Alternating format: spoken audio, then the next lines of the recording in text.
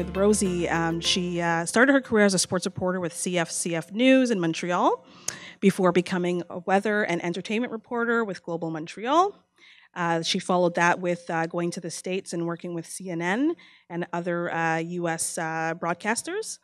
And uh, obviously, as you guys know through our, our, um, our content that we've been posting, you've seen Rosey's receipts at the Olympics, three time Olympian um, and 400 meters hurdles record holder. Right. So no one has no one has contested you yet. Um, and also, you know, segueing from your journalism career, uh, veteran journalist, you know, uh, interviewing all the stars, all the entertainment stars that we can think of, and then segueing into being a film director. So you have a lot of receipts, and I'm sure I didn't read every one of them, but I wanted to give you guys just a glimpse and a sense as to, you know, how much Rosey has um, achieved so far, and I'm sure you're you still got a lot of other projects on the go and ideas.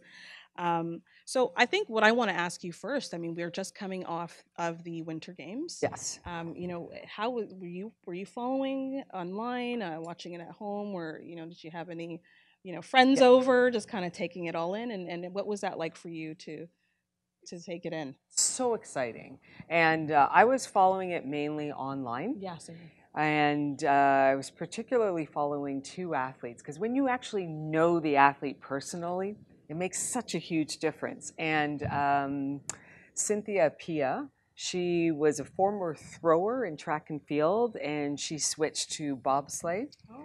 And uh, she was down to the wire, wasn't sure if she was going to make the team, and at the last minute, she came through with the rest of um, the women on the Canadian bobsleigh team, and she made it. So I had a particular interest in bobsleigh, and also there's this incredible athlete. Her name is Phylicia George, who also she runs the on in the summer games. She runs the sprint hurdles, 100 meter hurdles, and then now she doubled and went into the winter games and decided, hey, I'm going to try this bobsleigh thing. What a switch! Unbelievable. Made the switch, became the runner with uh, the invincible Kaillie Humphries, and they won a bronze medal. So to watch that and we saw I saw her train and transition from sprinter to bobsleigh and uh, she got stronger and bigger and she was so focused and dedicated and you can follow her on instagram and she really gives you you get to walk in her shoes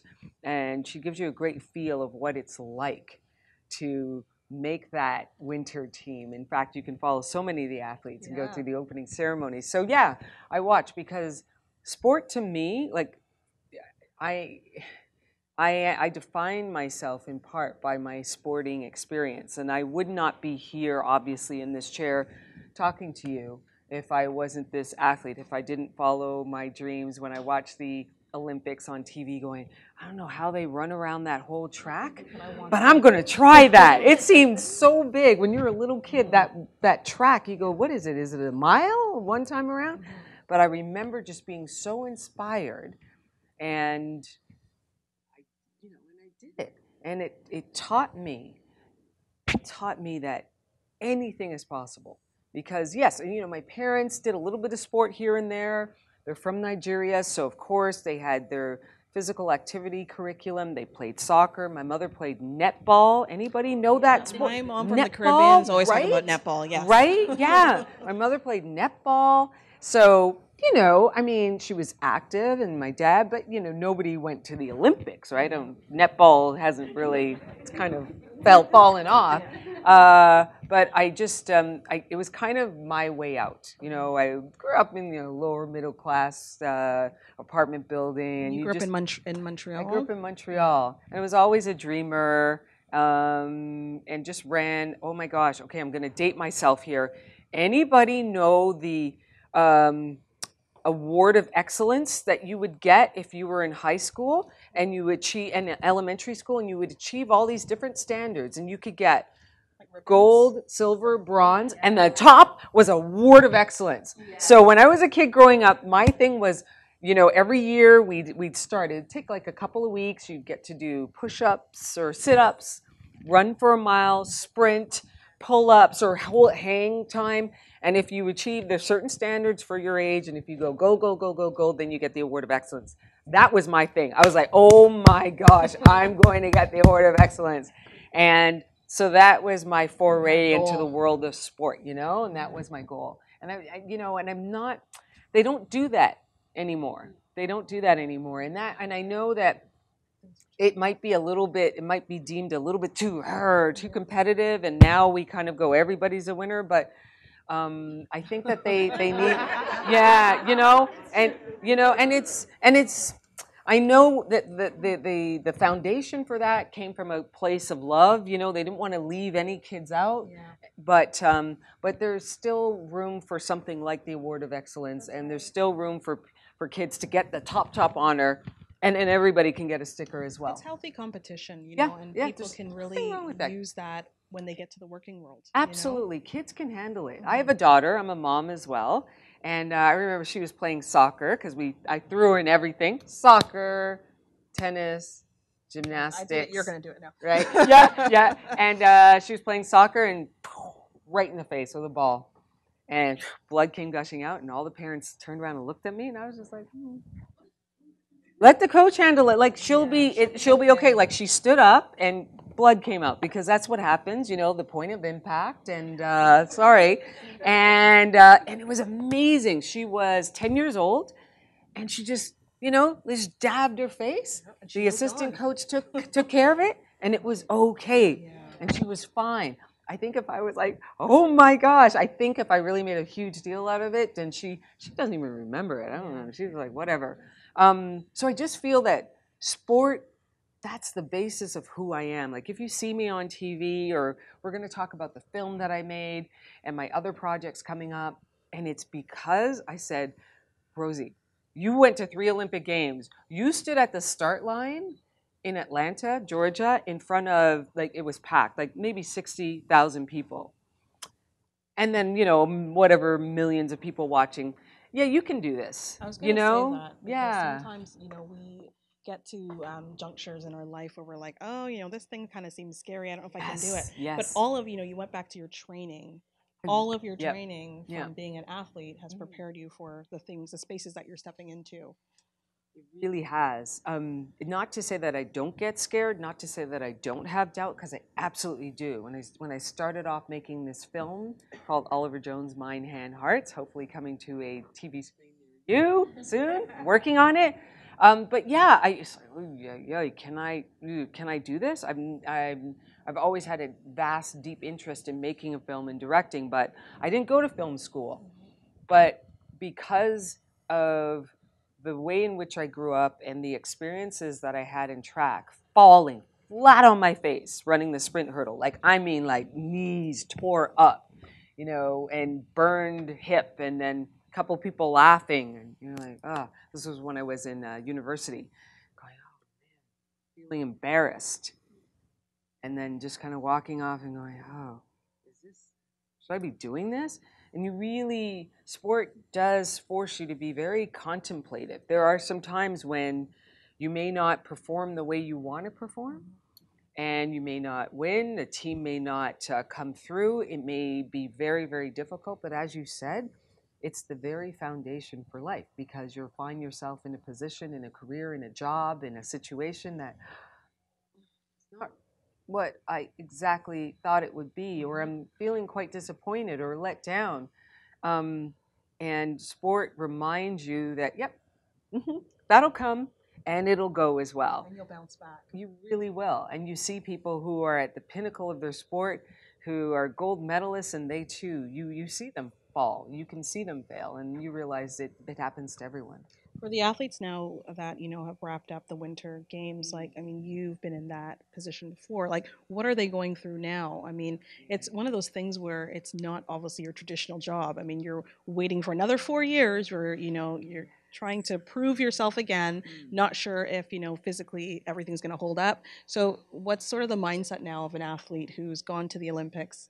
You know, it's over now, Right. and, you know, what are their options? What are they sort of contemplating? there's a couple of different situations like the athletes that have come through against all odds and they brought home some hardware It's it's going to take another two months. They'll be on a high as they should be. They're visiting high schools and Speaking schools, engagements. speaking engagements. They're flying high, and they should be, right? They work so hard and reach the pinnacle. Um, the other athletes who maybe are who didn't perform as well as they thought they should have, some of them will get that fire in the belly. They'll they'll feel that pain of disappointment, but the true Olympians will come back again.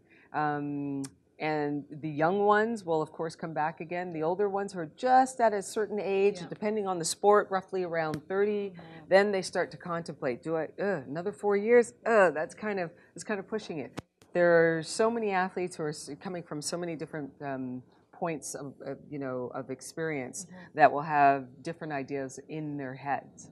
And um, the one thing that they, uh, I think that they all come back from that experience, whether it's their first or their second or more than that, they go, wow, I'm, I'm an Olympian, you know, and that's something that you have to kind of drum in your head because when you're an Olympian and you're surra- and you're surrounded by other Olympians, you don't.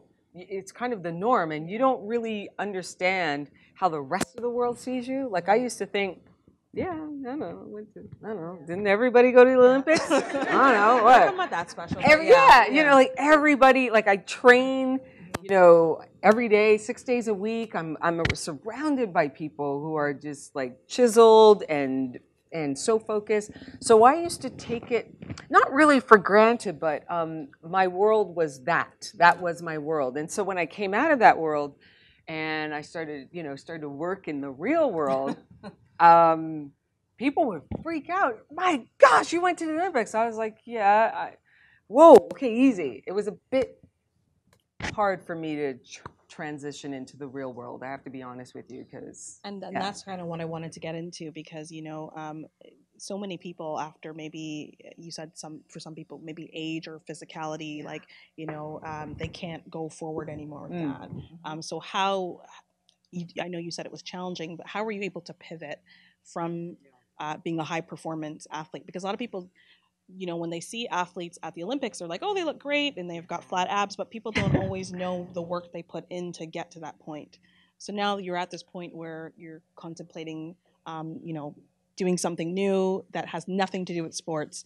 right. So for you, um, how were you able to just pivot and say, you know what, I'm going to try uh, maybe journalism or Yeah. use my voice? okay. Um, and and how did that go for you? Yeah, that's a good question. Okay, so I'll back it up a little bit and tell you guys. Um, so 1996. No, let's go back a little bit further than that. Take myself here. So I got pregnant in 1994. I had a baby in 1995.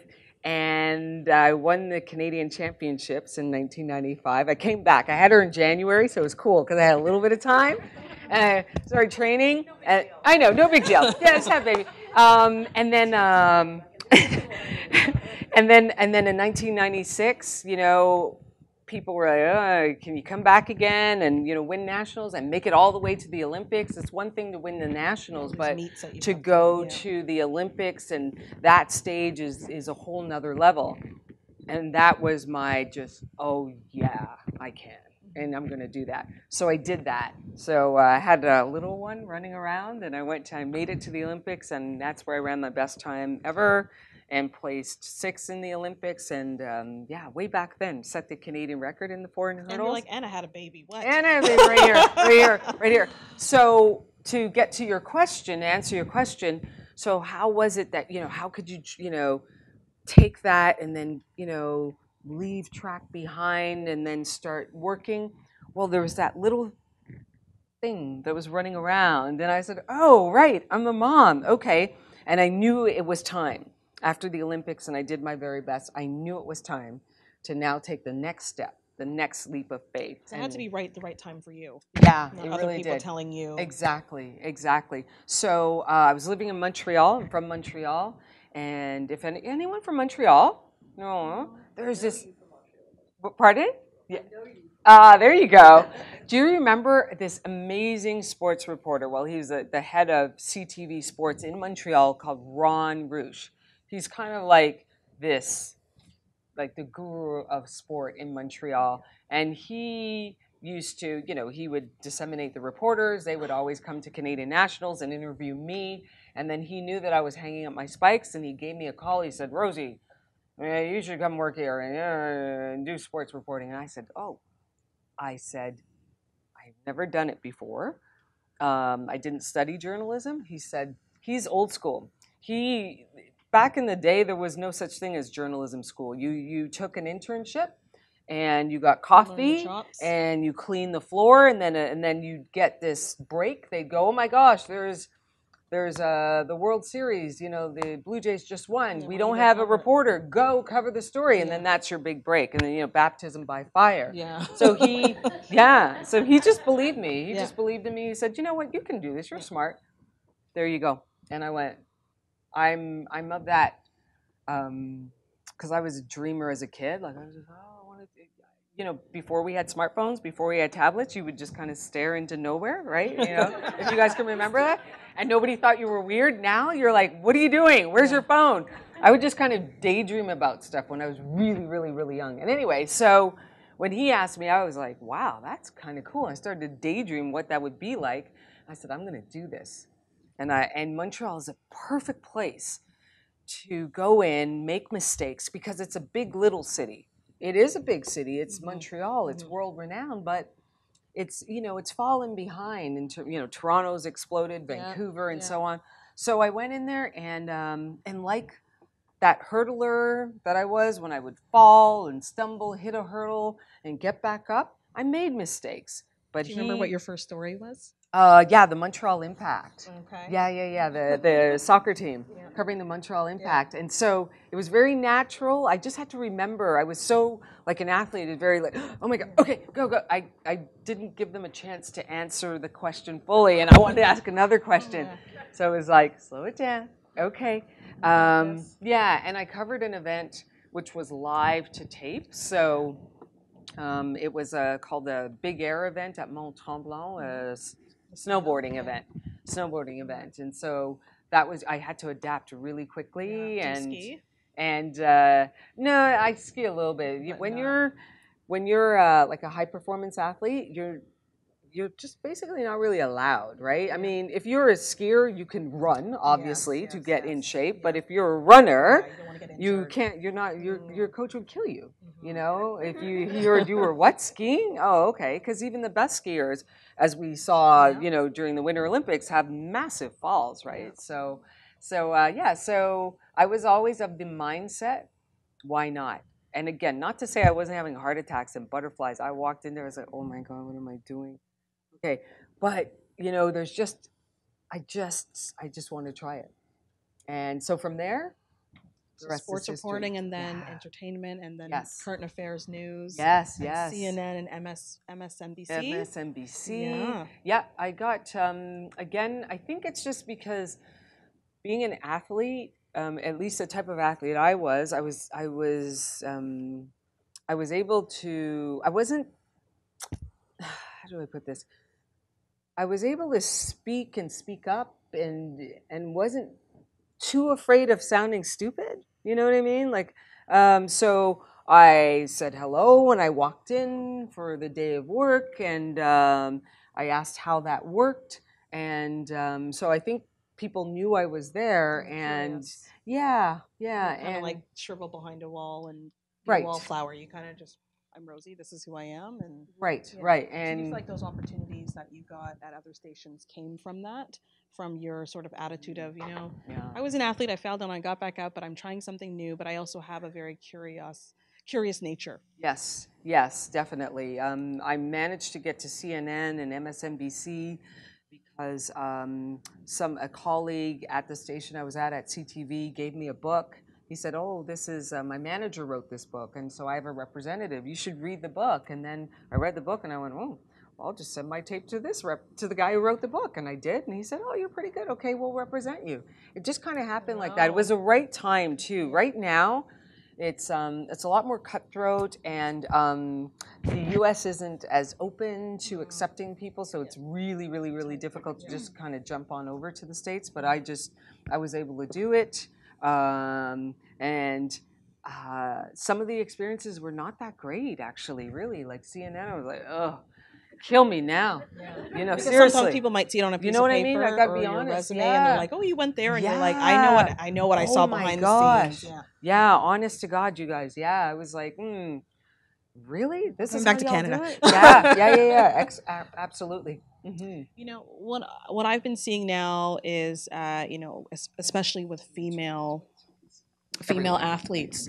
You know, with the explosion of social media, every Oh, yeah. athlete has a brand. And now, you know, you can't say that I don't have a voice if you're somebody on uh, that has that platform. So, what are your thoughts on, uh, you know, athletes, pro athletes using their brand to Yeah. speak out Oh. about, or you know, or speak up about certain issues, social issues that impact all of us, um, but specifically for women. Um, you know, there's a lot around uh, the the the push for pay equity, for just you know having uh, a more of an inclusive programs and funding for women's sports, and you know a push for more female coaches. So, um, what's your thoughts on you know uh, athletes now using their their their brand as a voice? Well, I would say to, as I've said to some athletes, and my daughter, by the way, runs. She runs, and she's um, she's a really she's an up and coming sprinter on the Canadian scene, and uh, and we talk about this about. Uh, social media and the impact it has and whether or not it's taking over your life or you can you know control it and um, i think that you i would say this buckle up because it's going to be a bumpy ride if you're going to go out there and you're going to choose a platform you got to you got to stand, Stand behind it, yeah you yeah. really really do. Um, and i think it's fantastic actually. I really do. Like the way that in which you know, some some of these athletes these uh, female athletes are amazing. Like um, Alysha Newman, she's a Canadian record holder in the pole vault, and she continuously breaks that record, and and uh, and she's uh, she's um, she's a force to be reckoned with, and she's somebody you know she really when she uh, when you see her in the, on on camera, you know she's got power and grace and.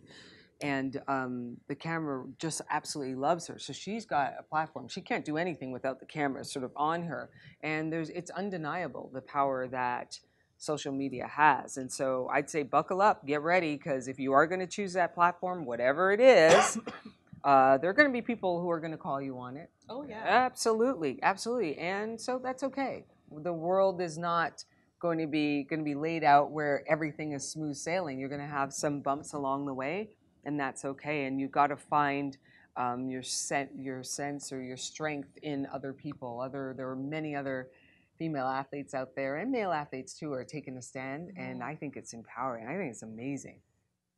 And how do you feel? Because I mean, you obviously, um, you know, you you kind of had the Olympian career, the training, and um, you've probably seen a lot of things that you know maybe this generation or millennials they haven't seen. So, are you on the mindset that we've come far from where we are in terms of um, having more opportunities for women in sports, um, being on a level playing field, or do you feel like we still have a long way to go?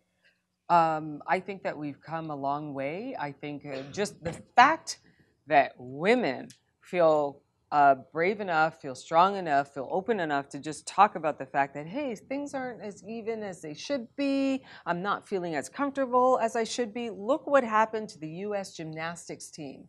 Look what happened. And that's because finally, you know, some parents and kids finally got the guts to open their mouths. Because I'm sure that it must have been awful, but I'm sure the parents knew, you know, a few parents must have known what this awful, awful person was doing to their kids and thought, gee, if I speak up, then you know, then I've got to go against USA gymnastics and my kid all the time and the money that's put into it. He or she is gonna, she's gonna be ostracized. I don't know.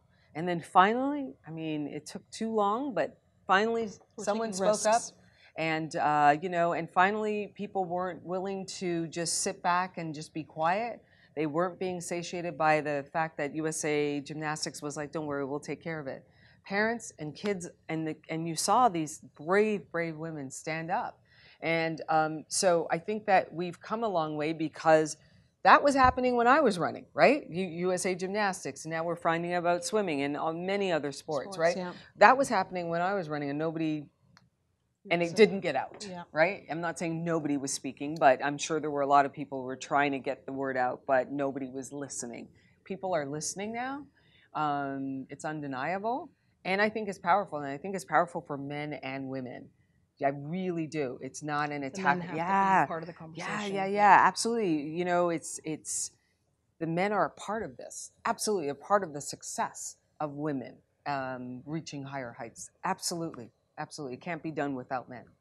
you know, you went, you talked about earlier your daughter, and I know when I talked to you on the phone, I was like, you know, um, you've kind of entered so many different spaces in, in life, and I'm, I'm sure she probably, uh, you know, you you guys probably have great talks, you know, mom and Mhm, daughter talks. mhm. But is there any one character trait or you know one thing that you would like her to sort of continue to to have as a woman in terms of her own path? Um, and navigating the world that we live in now, because as much as women are speaking out and speaking up about certain issues, we're still fighting you know like we're still trying to get that's equality. Um, so is there one thing that you would sort of you know one skill or skill set Yeah. or a, a character trait that you'd say you know what as a mom this is what I, how i think you should try to navigate this world or this is Okay. the one thing whether it's resilience that Right. you should have um, because it's not going to be easy No, no, it's true. I, all the all of the above: resilience, grace, Mhm. strength, fortitude. Um, I would also say, um, who's fans of rap music, old school rap, Public Enemy, right? uh, you know, don't believe the hype. yeah Remember that song? Don't believe the hype. It's so true. Like so, because when I was pregnant with my daughter, people were like, "Good luck, you. There's no way you can come back. The back, the body can't come back into form. You'll never be able. You know, if you do come back, you know, you're not going to run as fast as you did because the female body can't handle childbirth as well, and you're never the same." And so, if I believe that hype, right, you know, then mm-hmm. I'd just be like, okay, yeah, you're right. I, I'll take a back seat. Uh, I can't do that because you told me that. and you ran your best race And I ran Yeah. my fastest, fastest ever. I got yeah. in the best shape that I ever did, and I ran my best race and my fastest race ever. So um, I think, um, and this goes for all of us, right? Men and women. Mhm. Don't believe the hype. So that hype being um, the the untruths out there. You know, there are a lot of th- there are a lot of untruths out there, and um, and you see it smashed every time. You see the the hype smashed every time when you watch the Olympics. And I think that's why we love the Olympic Games because you're like, wait, what? He was in a cast three months ago, Yeah. and Now what? a and he's doing, but no, the you know, you know, his doctors or you know, people told him he can't do it, and she wasn't sure if she could come back after this injury or childbirth or family tragedy, um, and yet, you know, you can do really what you set your mind to. You know, it may not be exactly the the the goal, but if you just um, set those little goals, you'll find that oh wow, this world really isn't as bad as one might think. If you're watching the news a lot, you think oh yeah. yeah. Um, so I would yeah, I would want her to not believe the hype about well, you know, if you're an athlete, then you can't be smart. If you're an athlete, then you know, you really, you know, after your athletics, it's going to be a hard road, and there isn't really much after that. Maybe you know, there, there, the, the world is your oyster. It really is, and so that's what I would teach her, and that's what I um, I also volunteer coach at Leaside High School. Go Leaside Lancers. I, I'm a track coach there, and uh, oh, it's amazing. And you see the kids come in in grade nine, and they're just like, and the girls are a little bit more like this than the guys. The guys are like, huh, I don't know what I'm doing, but girls are a little bit like this, a little bit timid. And then by the time they're ready to, you know, grade 10, 11, 12, you see them, they just, um, they really do blossom. And the, into their own. yeah, and, and not just the ones who are doing exceedingly well and going to OFSAA, which is the Ontario High School Championships for all the different sports, even the ones who just stick it out, come to practice. That's all we ask too. We say, if you're going to come, if you're going to commit to this team, you have to come to practice. And if you can't make it, let us know why. And uh, and then we want to see you compete. We don't care if you come in like last. It really isn't that. That's not it. It's here.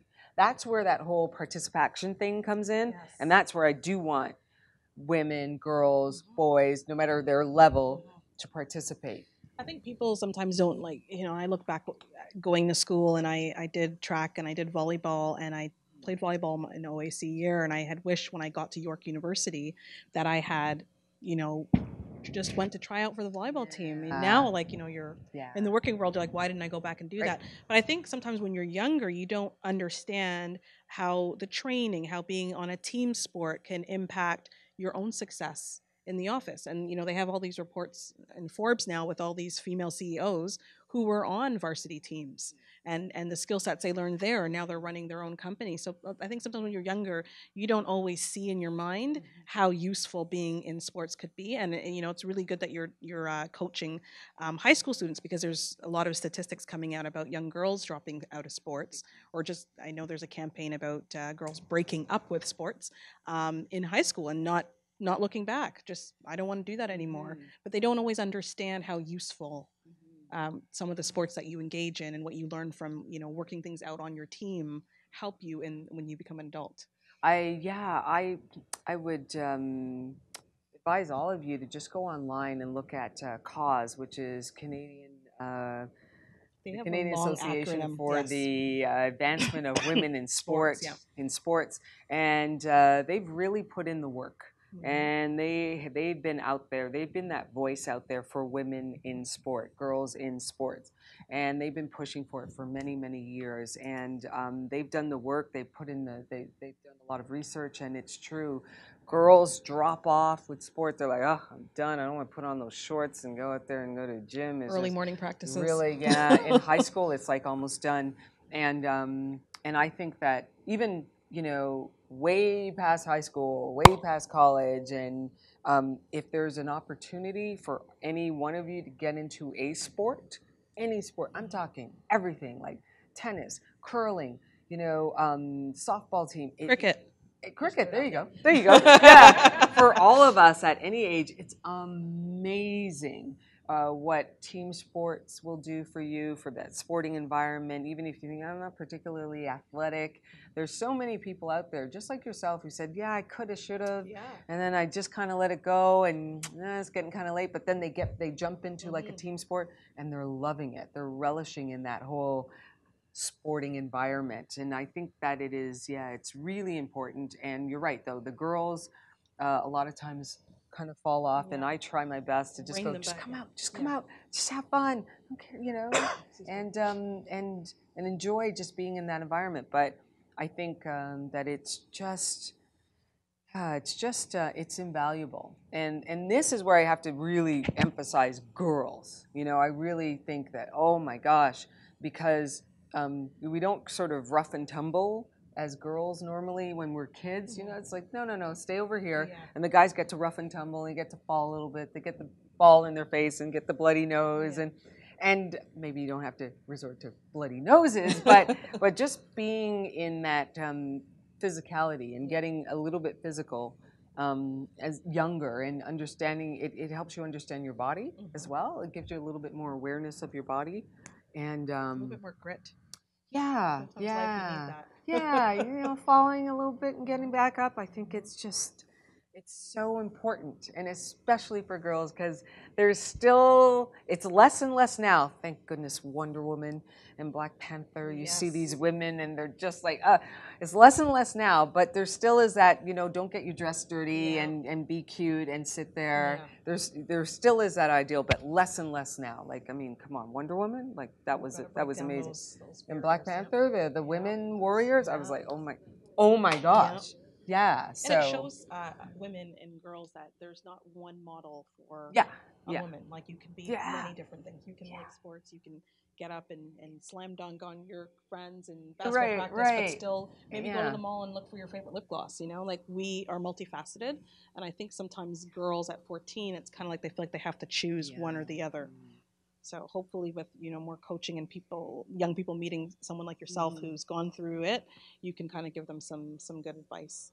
Um, your other um, motto, I know when we were speaking on the phone, was "Stay in your lane." Yes, Can you yeah. talk a little bit about that? Yeah, it- it's so appropriate, right, for a, a sprinter, Yeah. right, to a hurdler, to say "stay in your lane." Mhm. And when I saw, you know, other people started using it, I was like, "Hey, that's our saying. That's just us track athletes. We, you know, because you know when you're running and you're sprinting, right? So uh, you know anything 100 to um, 400 meters and Mhm. 400 meter hurdles, you got to stay in your lane. If you step out of your lane, you get disqualified. So that just means You don't worry about anybody else. Doesn't matter what lane you have. You stay in your lane, you mind your business, and you run your race, and you will win.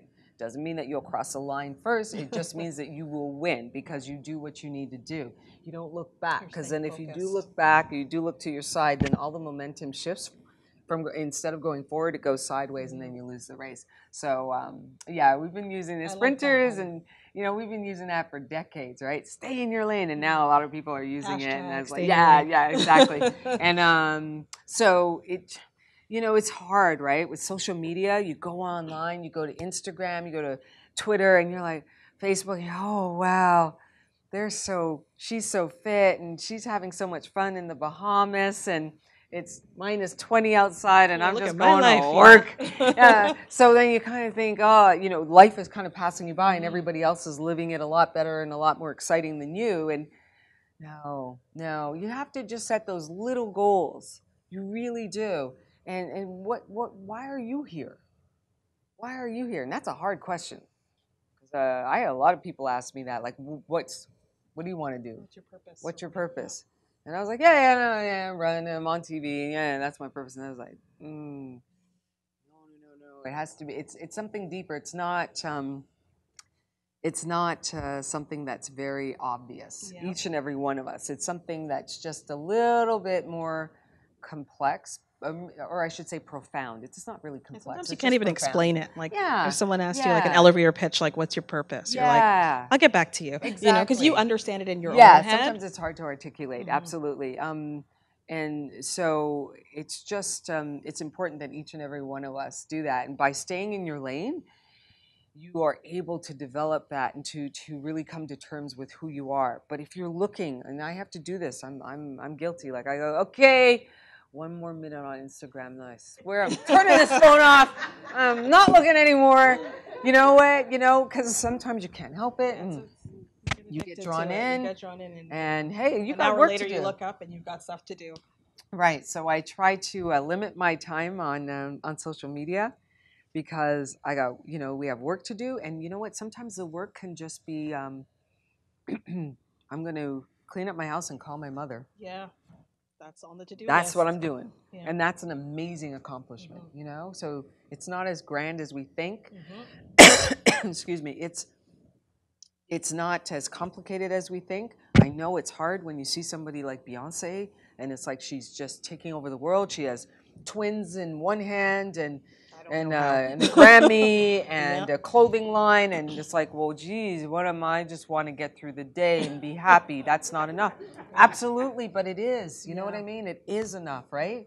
If you can, you know, I don't know, be happy really within yourself and like be content within yourself and say thank you to the TTC bus driver and really mean it. That that's an accomplishment, you know. We have to stop comparing ourselves with other people. Yeah. So that's what staying in your, in your lane like that. means to me. Yeah.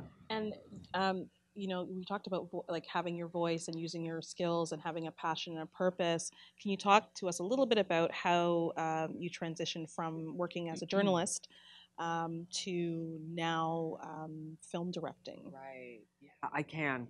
Um, so get, being a journalist is just it's absolutely perfect for me because I've always been so inquisitive, always asked a lot of questions, and that's what you do as a journalist. You try and get to the truth. You ask a lot of questions. You get different sides to, to the stories. So I've been working as a journalist um, since uh, I was the lead anchor on the uh, Global News at noon, and then it was co-host on the morning show at Global since um, whoa, can't even remember. Uh, 2012, yeah, for a while, a little while, and uh, so I was working in that capacity up until 2016, and then I got a, a little like.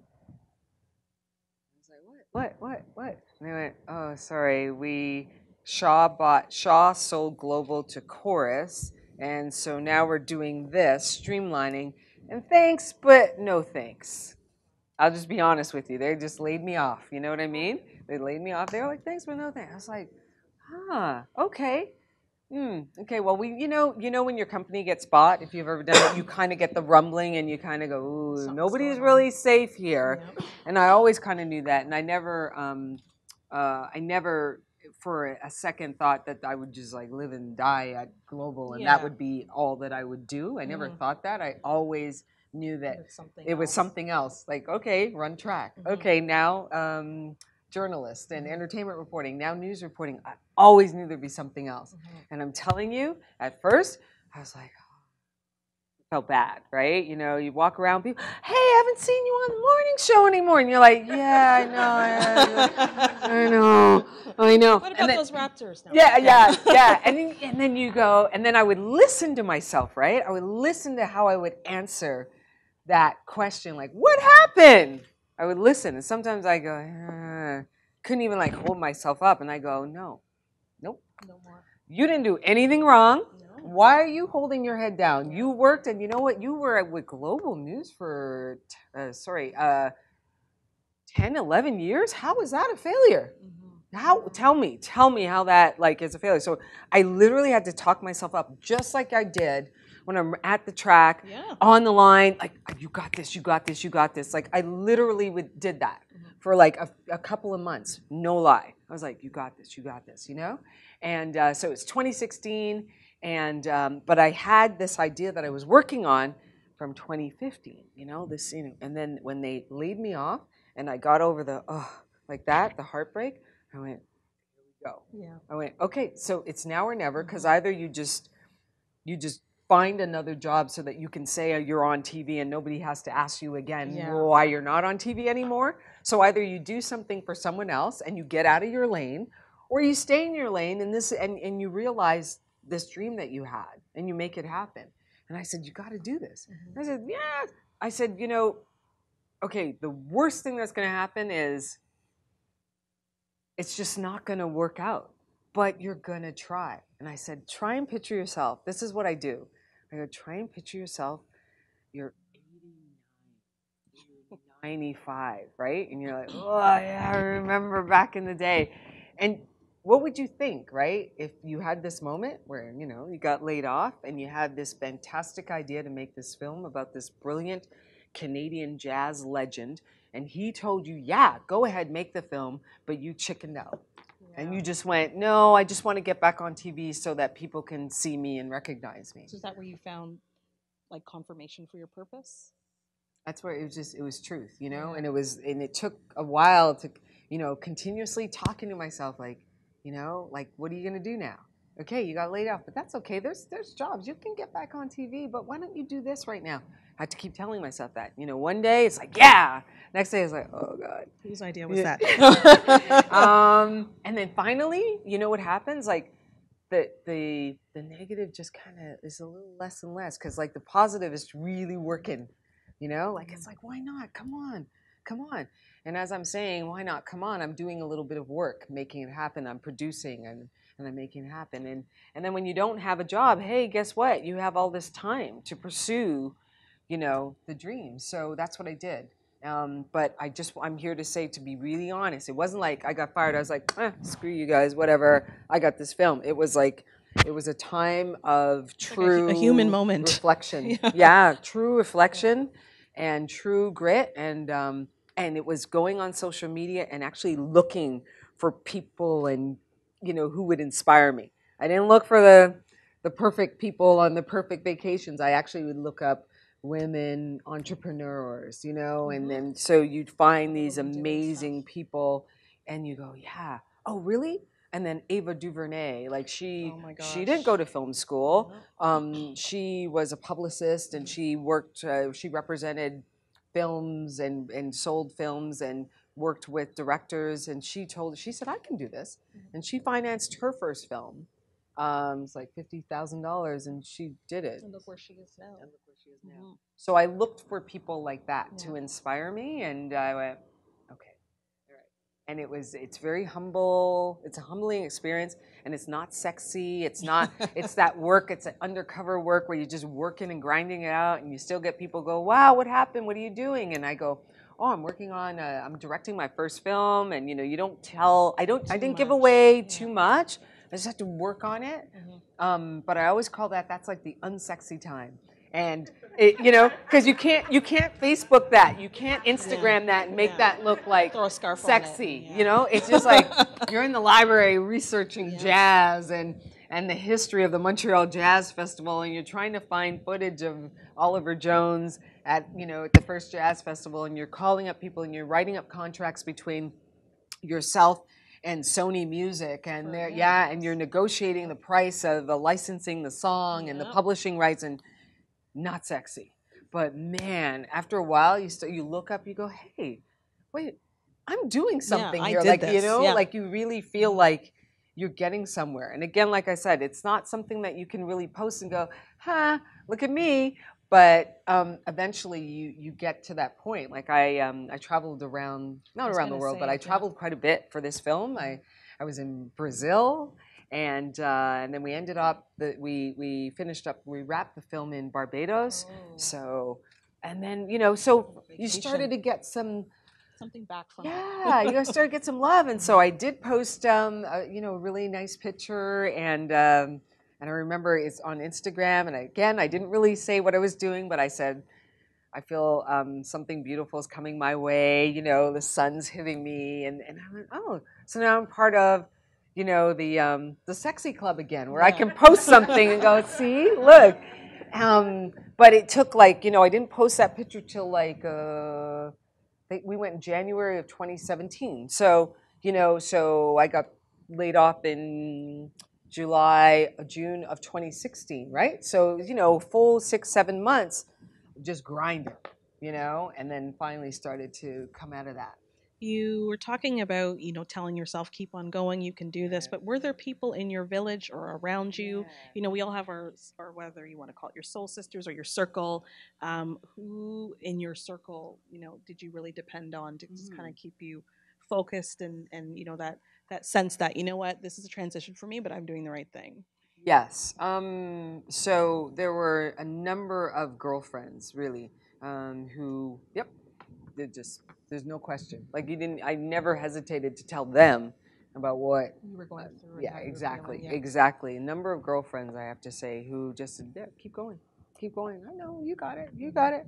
Uh, and family. You need, to hear that. You know? absolutely no question about it. Absolutely. Um, just that after you hang up the phone, even though you had that great affirming talk with a girlfriend, then it's like, ah.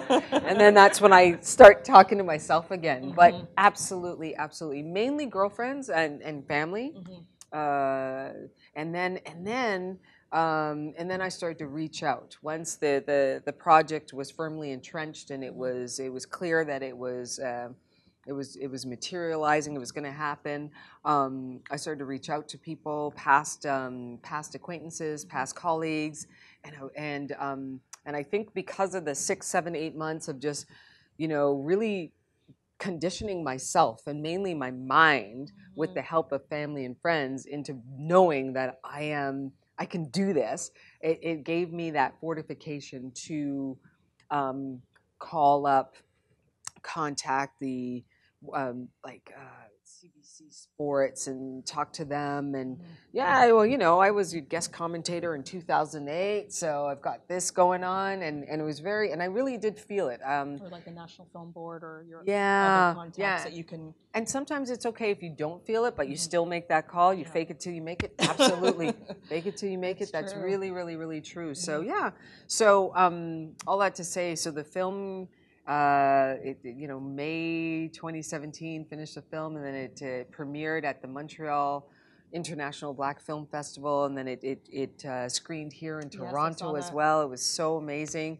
And so the next step is to um, find a distributor, which Mm-hmm. I'm working on, and then I'm working on another project, which I can't I know. I, was right gonna. I was gonna say what's next, but I knew you were. Yeah, but it's um, but you guys will love it. It's women in sports. You know, you yeah, go. it really is, and it's gonna be it's gonna be phenomenal. And it was, you know, it was me walking into that space, the you know mainly male space, Mm-hmm. and going, hey, I have an idea. And you know what I did? I read a book first about how to how to own the room. Oh, darn, I forgot the name. Anyway, it was really cool because it was like how to pitch something, how to own the room, written Yeah, I was gonna say we'll we'll put it on social. yeah, yeah, I'll find it. I'll Yeah. find it, and, and then and then I was going to read another one because I'm I love the library. I love I'm uh, I'm a nerd when it comes to reading and stuff like that. So I was in the library and I was like, okay, I need to read another book before I can go and pitch my idea, because it's you know they won't know they won't believe me and I and I went nah. you know how to do this. You so you know, this. I read one. I was like, you're good. And I thought maybe I'd make a bunch of notes. And I walked in there, you guys, and it's un oh, and I just, I just started talking to him like this, like it was yeah, yeah, like two human beings. Mhm. And um, because I'd known him before, made you know, made contact here and there, and uh, and he loved the idea. Now we're just sussing it out. We're fixing it up. We're Mhm. making it, you know, we're gonna make it work. You guys will know when it comes out. So you guys heard it you know, first. yeah, Something's going yeah, on. It's yeah. women in sports. women in Very sports, exciting, You And you know, as soon as I hear, I'll make sure that you yes, guys know too. yes, yes, and it's a little bit, it's a, it's, it's a little bit like uh, that. I can't, you know, I can't reveal because then No, it could, yeah, yes. and also a little bit like, no, I gotta hold on to it. We do that sometimes. Like let's hold on to this thing. Yeah, yeah. When it's the right But- time to. Yeah, but I'll, I'll say this: that it just makes me so proud as as a woman. Mhm. This project, like I just I see all of you guys and I go, oh my gosh, you crazy, love it. And then and I know, like my brother will watch it and go, what? This is cool. So I know the guys, you guys will love it too, and you'll see how.